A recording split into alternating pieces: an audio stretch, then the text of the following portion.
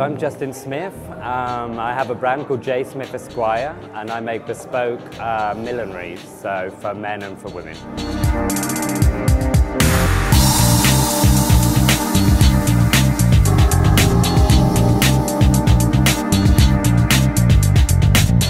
The current collection that's behind me here is all based on uh, superhero, but in kind of Hollywood film glamour kind of sense of superhero.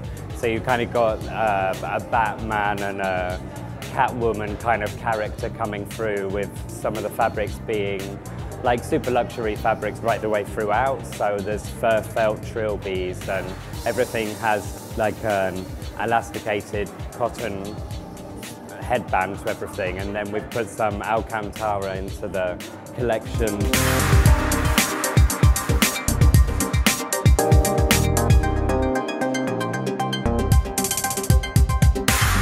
The Alcantara in my collection brought a really kind of new, modern, luxury, futuristic feel with its um, just ability to create really clean lines and real structure. I, I, I liked everything about the way that it feels actually, its stiffness, the way that you can just cut it and cut it in any direction and you don't really have to work with a bias so you can be a bit more free thinking about the way in which you construct something and the clean lines that it creates because you can just cut a raw edge.